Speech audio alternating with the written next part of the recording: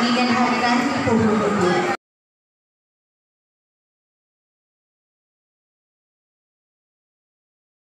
Mempersilakan.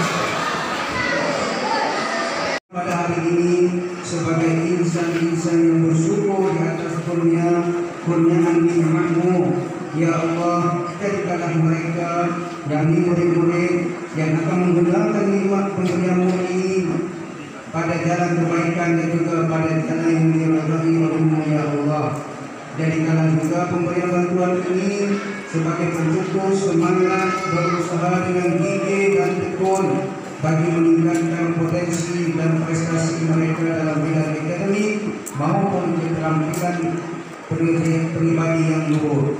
Ya Allah, Ya Aziz, Ya Jabbar, ampunkanlah dosa-dosa kami, dosa kedua bapak kami, dosa guru-guru kami, dan seluruh umat Islam.